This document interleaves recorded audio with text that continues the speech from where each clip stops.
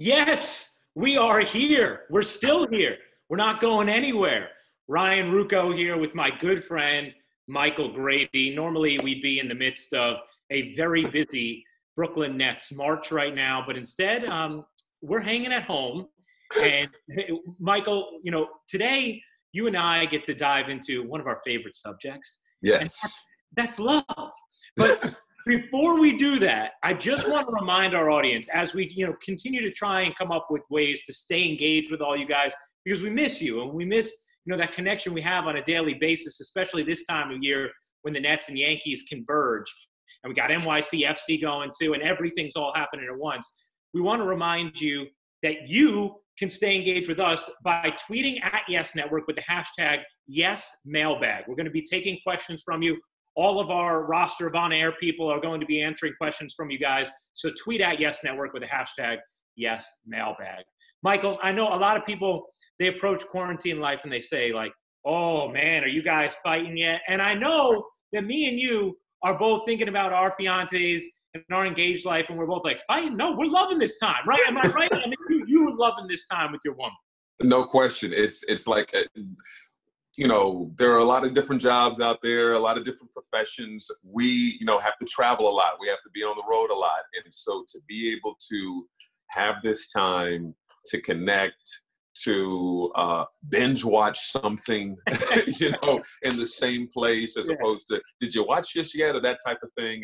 And just just having that that closeness that you don't get to really get when you're on the road during the NBA schedule. Uh, no, it's it's time that you really cherish and you really value. So I know you're in, and you're in the exact same boat. No doubt, man. I mean, it's it, look. We all know the the specter of what everybody's dealing with is uh, it's daunting and it's dire, and there are you know there are actual life and death circumstances that people are dealing with right now. Um, within the scope of that, as we all are you know, um, you know, at best disoriented at, in this moment, you try and find silver linings, right? And for me, the biggest silver lining in all this has been getting to spend every day with my fiance Andrea because she travels for work, I travel for work, like you were just talking about, Michael, with our schedules.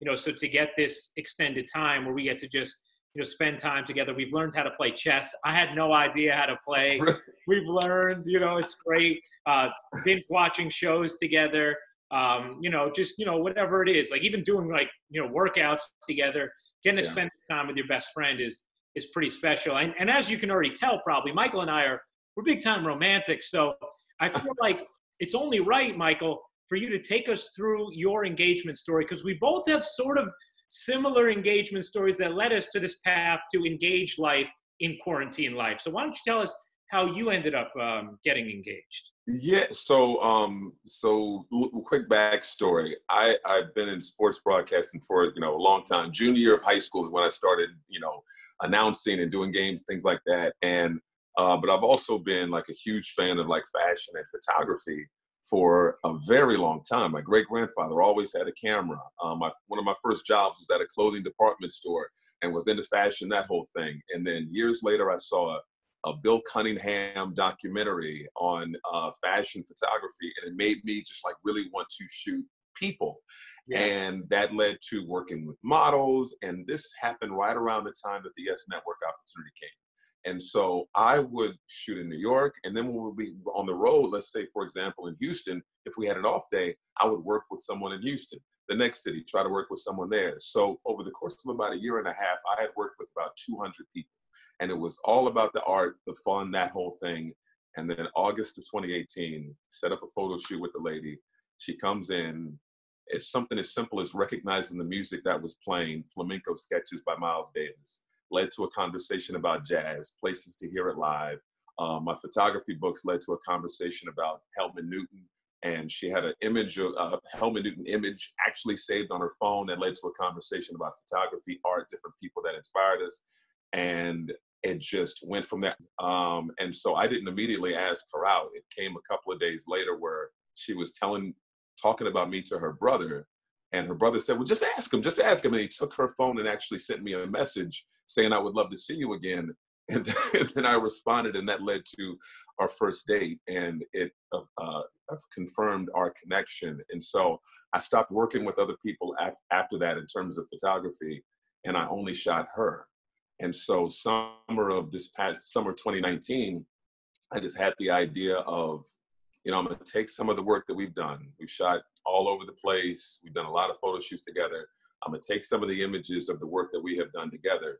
I'm gonna rent a gallery out in New York, frame, blow these, blow some of these images up. I'm gonna invite some of friend, some of her friends and family, some of my friends and family, and just surprise her with with our work. And so um, we came, we had dinner. We walked in, didn't suspect a thing. There was a hidden door. It was a sliding door where friends and family were. Opened it up, and she was just floored as everybody came in, and just the love of the whole night. And then popping the question. It was um, it was uh, it was just something that was unique to us, given the fact that, that our our friendship and our love was based on photography and that type of connection. I love that, man. I love that story. and I also love, and it's wild that both of us proposed in art galleries. Like, how, crazy is that? That like that's bananas. it's it's we never talked about it. yeah, yeah. It's it's it's so crazy. Like I, you know, not um I don't have the artistic ability that Michael Grady has. Okay, and uh, and, um, and my fiance Andrea doesn't necessarily have that artistic ability either. Although she is definitely more talented in art than I am.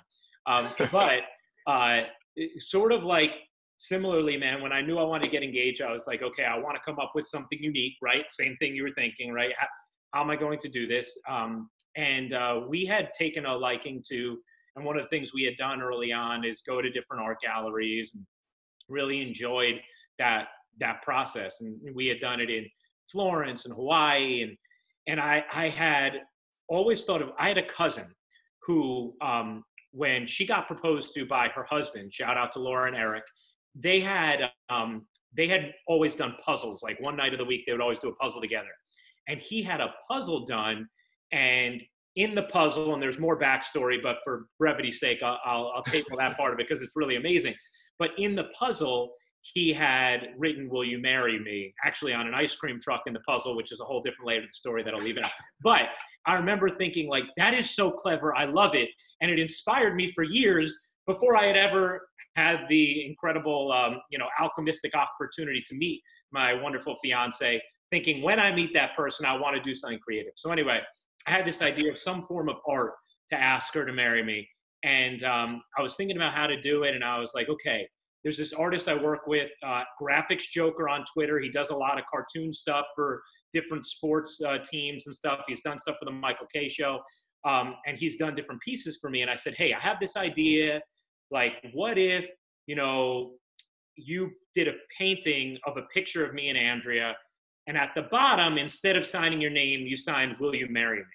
And he was like, Oh, I love it, you know, whatever. And so I kind of slyly figured out what picture Andrea liked without her knowing what I was doing, right? But then I also had to figure out, well, how am I going to actually like then present the picture? And I thought about, do I rent out a restaurant? How do I do this, etc.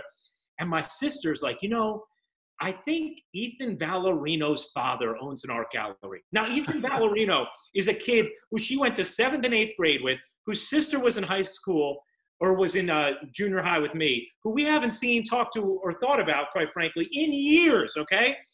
But I, I'm like, all right, I'm gonna try and reach out to Mr. Vallarino, right? I do. He does have an art gallery. His wouldn't work, but he was so in love with the idea of me presenting this painting at an art gallery that he himself hunted down other friends of his whose galleries might work. I end up finding a gallery that would work. We have fake dinner plans with friends. I had set up at the gallery ahead of time. We get there, and basically, I had arranged with the women there, like to say, like, "Oh, Mr. Vallarino actually brought something special for you guys. We'll go get it." As we're walking around the gallery, they put the painting on the wall, and I slowly guide Andrea there, and I'm like, "What do you think about this one?" And she's like, "What?" And at first, you know, she just thinks like, "This is the craziest gift ever." And so I get down, I, I, I hold her hand, say some nice things, and then I say, "You want to see who the artist is of this painting?" And it said, "Will period you period marry me." And so I got engaged in the art gallery there to Andrea. a couple of things real quick because I know we're tight on time. One, how nervous were you? Oh, you know, it's what's funny is it's not nervous about it happening, right? It's nervous about the execution of it all going yes. right. So incredibly yes. nervous, like ridiculously nervous, just for that. Yes, yes. You, so many things have to go right, and you're being really anal about it because you want it to go off flawlessly. So yeah. I share that with you. One question that I get a lot from uh, from broadcast, I, I'm sure you've been asked the same question at least a few times, not just about how you got to where you are, but knowing that you're in a relationship, knowing that you're in a happy relationship. What advice would you give to someone who is balancing a hectic work life with a relationship? Yeah, I, I think the key is just um, communication, right? Like being totally open and honest about everything. Like, and I, for me, you know, I think it's also finding that partner who supports your dream, right? Like Andrea cares so much about my career. Last year, we had all these plans in summer of 2019 for different things we were going to do, and they got scrapped because of me having to fill in on Yankees so much. And the, the thing that made me feel okay with it was Andrea going to me and saying, I want you to know this is a rare moment in time.